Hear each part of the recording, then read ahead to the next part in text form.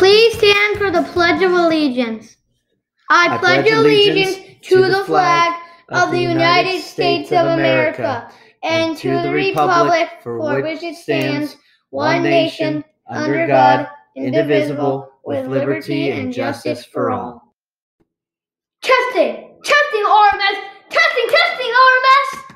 Okay, good morning RMS Middle School. Today is Thursday, April 16th, and I cannot even talk today. Today is day five. The weather will be sunny with a high 50 degrees. Let's start today with two cool jokes.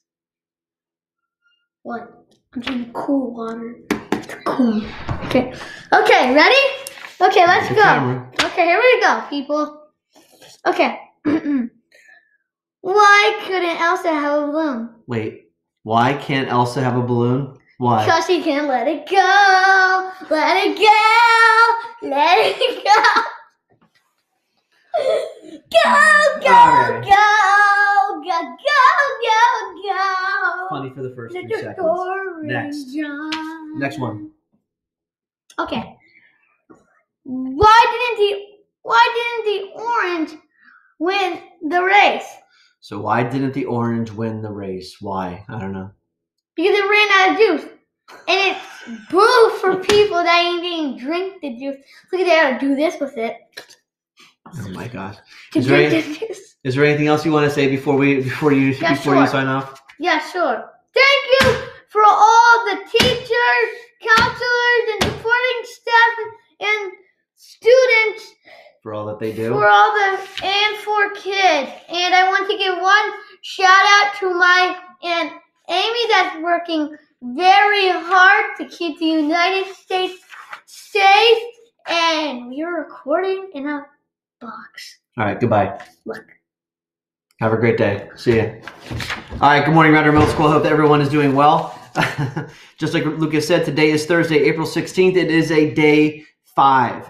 Um, So the announcements that I have today are pretty short and sweet. Let's start with uh, with school junior classes today.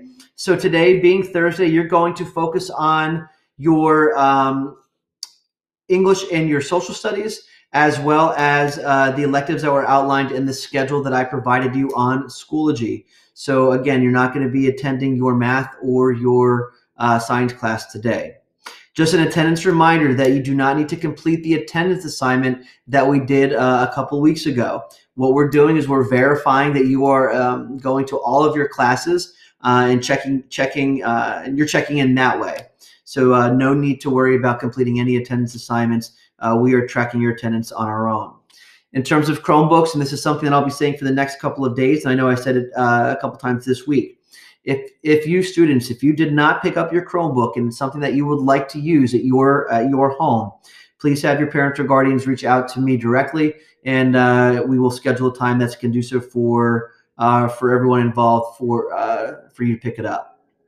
I also want to put on your radar, as well as your parents and guardians, that I'm going to be sending out a feedback survey uh, to you, uh, to your parents and guardians, and also to the teachers. So um, the administration at Radnor Middle School could get your feedback on the current schedule. Now, I know we're only living it for the fourth day, but I kind of want to gauge your perspective. I want to gauge everyone's perspective on what they think, what they think about the schedule, how they think that it's going, uh, what do they think about the way that um, the, the quote unquote the, the structure is set up and um, and things like that. So that should be coming on Friday to you on via Schoology, and your parents would receive uh, that survey via an email blast on Friday night.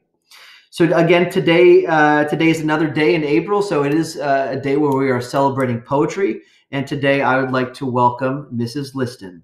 Thanks, everyone. I hope you have a great day.